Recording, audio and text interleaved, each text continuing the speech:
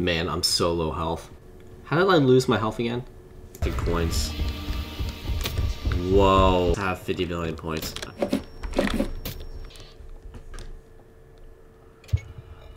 Oh. How did I die to Halt? Wait, that's not even my fault. What happened there? What, what happened? What am I supposed to do?